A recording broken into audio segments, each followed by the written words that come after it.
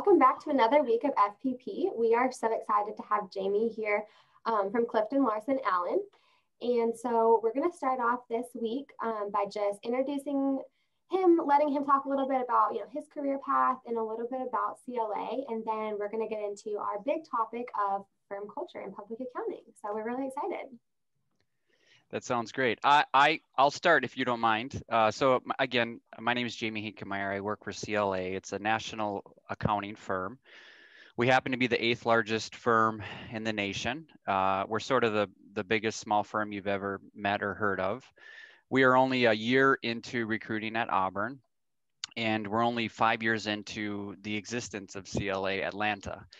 And that's where we work. We're up to 130 people in Atlanta. We started with 22 people in 2016. So there's been a fair amount of growth and acquisition activity over the last five years.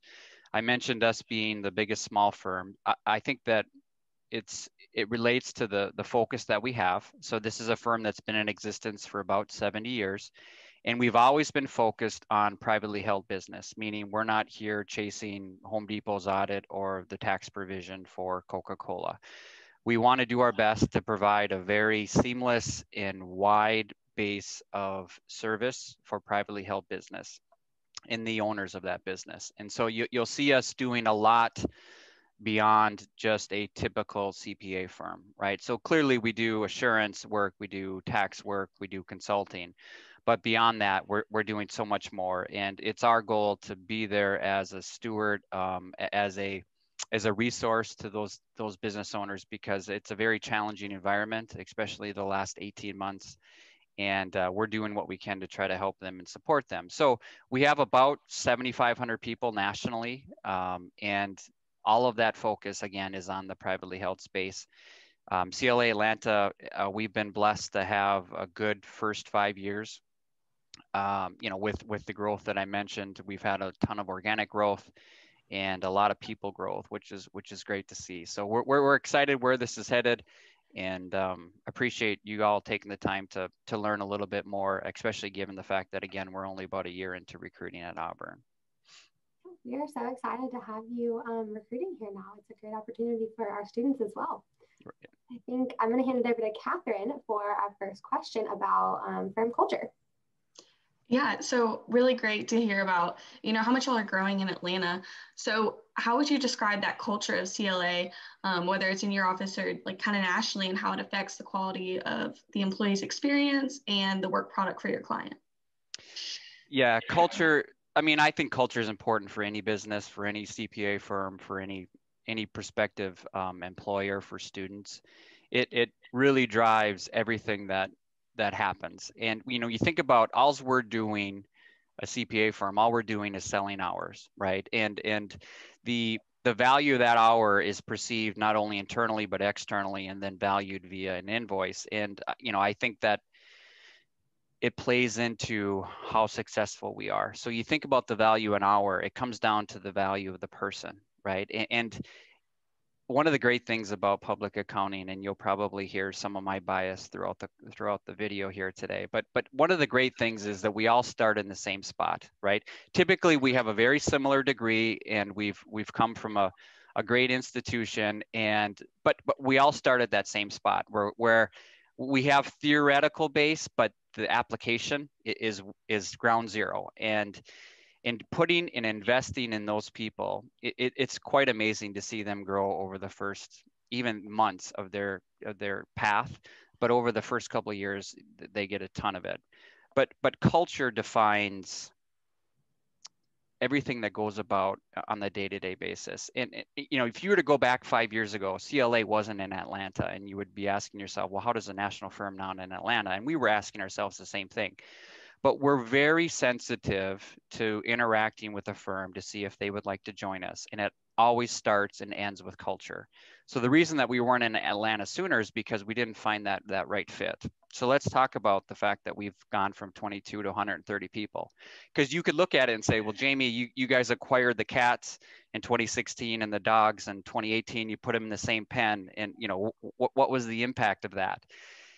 Culture is something that we have to work at every single day. And we're never going to get to the point where we have culture figured out and we can stop working at it. Uh, we were lucky enough or blessed enough last fall to be um, named. Uh, we took third place in best places to work out of about 6,500 companies our size. So the, the, the, cats and the dogs seem to be getting along well, uh, but it is it is a constant battle, and it really comes down to the people and the value of that hour, right? So we have to be we have to be interacting with the right type of student. We have to be recruiting the right type of student. We have to make sure that there's a fit. So our our onboarding and our interview process is, is fairly in depth. We have we, our first priority is making sure people feel safe during this pandemic, but we have prioritized having people come into the office. We at least invite them. And it's funny because I think the the students very much appreciate that, right? So, you know, getting through virtual interviews is fine, but but I think culture is best felt in person. And so getting those people in the office to, to work along along with other people, right? Assuming everyone's comfortable with that. We've always prioritized if you're not comfortable, you don't have to be in the office. But but uh, allowing that and offering that has been a big part of how we've been able to maintain culture. But at the end of the day, it's all about getting the right connections, right? So if we're recruiting another firm, we're making sure that they fit and profile well. If we're recruiting a student, again, same thing. It's all about, you know, because we spend a lot of time together, right? And and and that's that's just critical to enjoying this. Awesome. Yeah, that's some great insight. Um, and I'm sure students do appreciate getting to come in the office. That's kind of a rare thing in recruiting right now. So I'm sure that's a great experience for them. Um, because they probably haven't had a lot of experience in person with any professionals. So that's really cool. Yeah.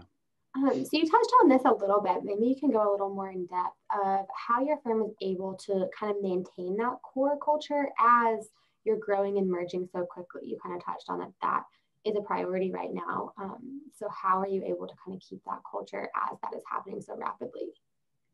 Well, I, I think it I think it starts and ends with trust, right? So you know maybe maybe there value there be value in me explaining how we handled the pandemic right? Um, so you know immediately the, firm which has over a billion dollars of revenue has to go through some scenario analysis where they do the, the what happens if we lose 5 10 15% of our revenue during the pandemic? And what is the impact of that? You know we, we talk about the cla family and, and how that defines who we are. So it was actually very straightforward for us to say we're not going to do layoffs. We're not going to cut people right?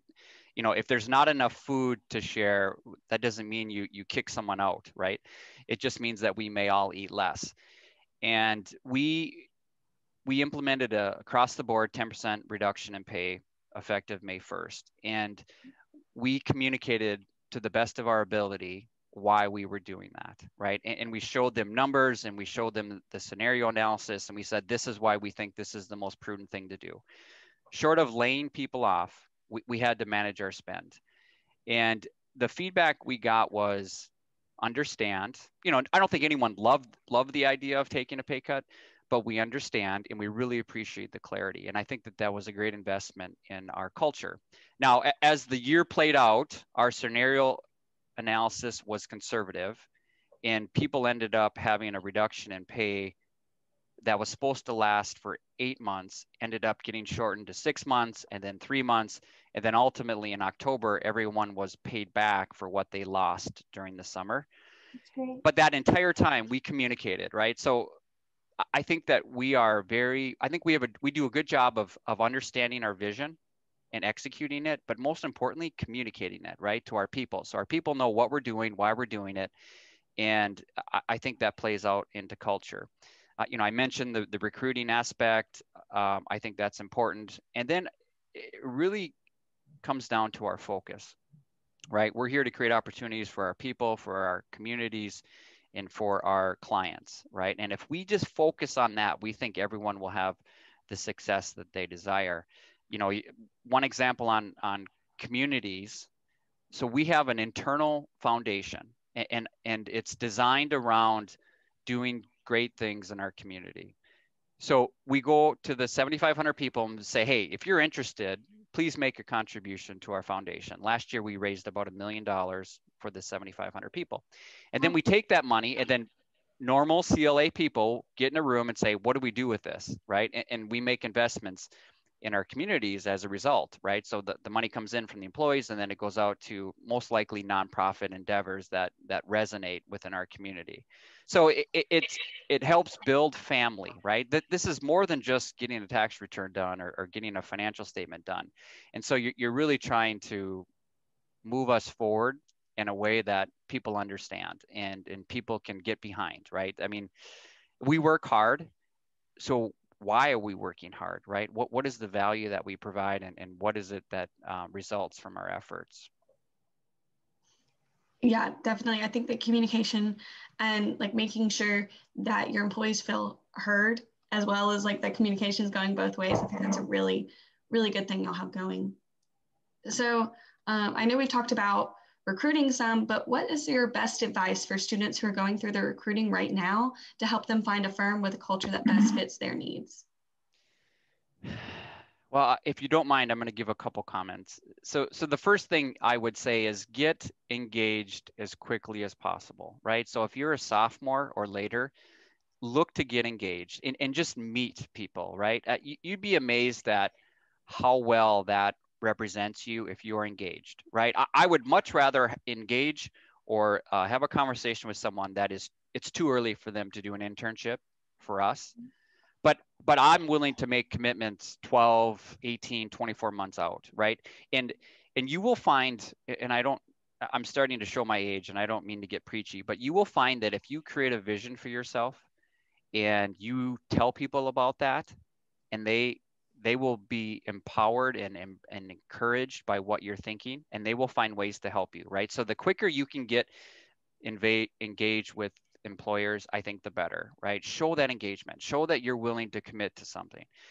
The second thing I would add is once you're interacting, do whatever you can to meet as many people from the employer as possible, right? So think about if you were the employer recruiting, you're probably going to send your most bubbly person to a campus, right?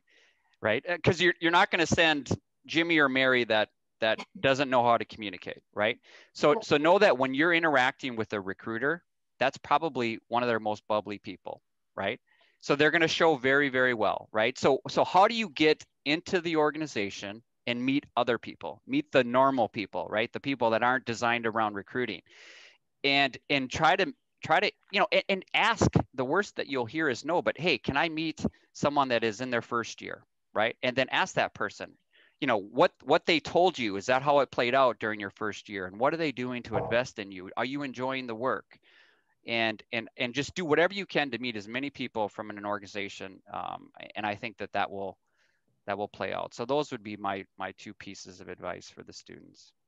Yeah, that is great advice. And honestly that turns out to be some of the most fun fun part of the recruiting process is getting to meet people and talking about their experience and kind of see how that lines up with what you think you might want to do with your career so that's really cool Awesome. Well, I think that is all of the questions that we have. Um, thank you so much for taking the time out of your day to be with us. Um, I know our students are really looking forward to seeing this and um, really looking forward to your event next week. Awesome. Thank you. Thank you, Catherine. Thank you, Hallie. I really appreciate you guys taking the time. Awesome. Thank you, War Eagle. All right, War Eagle.